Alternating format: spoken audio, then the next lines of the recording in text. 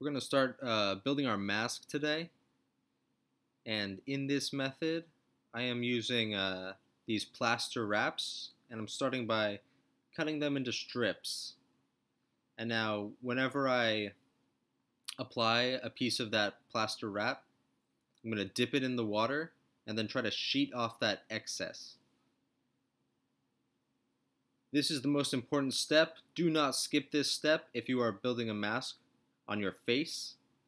You need to grease up using either Vaseline or petroleum jelly all of your hair. Put a layer of, uh, of grease also over your face, but mostly your hair. You don't want the plaster to dry and pull out your hairs. Uh, it could be very uncomfortable. So make sure that you apply a good amount of uh, that petroleum jelly to your face uh, in order for the mask to come off easily. I can't stress that enough. So you will need a, a partner to help you with this. And uh, once you dip the plaster into the water, it becomes activated. Um, then use your fingers to sheet off as much of that excess water as you can. This will allow the mask to dry faster and you won't have to uh, sit around for so long with it drawing on your face.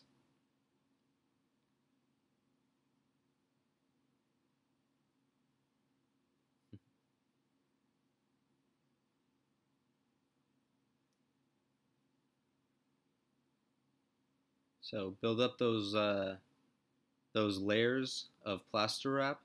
Um, we're starting here going around the eyes and the nose and the mouth. And we're going to get as close to those parts as we can without covering them up so uh, I can still breathe and uh, I can still uh, blink my eyes a little bit.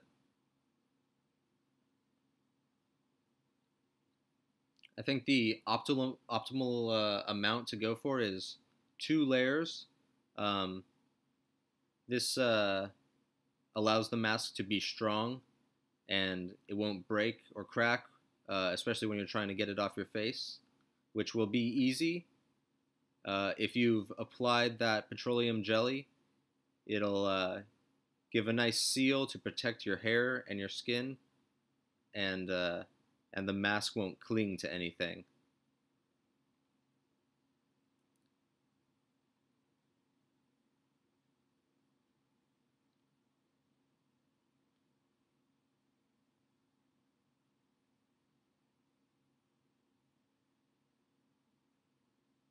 So go ahead and leave your, your mouth and your nostrils and your eyes uh, uncovered. And uh, if you want to cover up those parts, we can come back in a little bit later once it's off the face and uh, add a little bit more layers of that plaster wrap and uh, cover up those holes if that's what you want.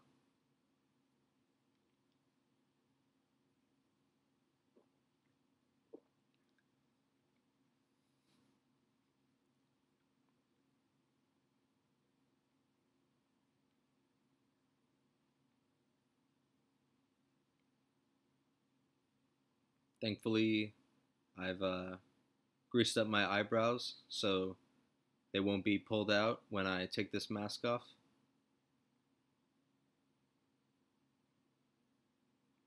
And leaving me uh, little eye holes.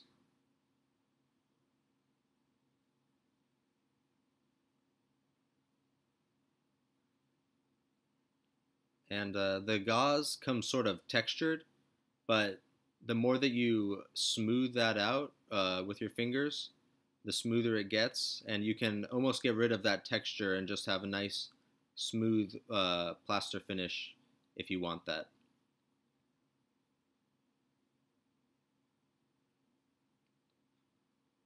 So once the mask is uh, complete, it really doesn't take too long to dry. As, as soon as you reach up and you feel that it has hardened, it'll still feel um, damp, but you can feel that uh, it's it's it's set and it's hard.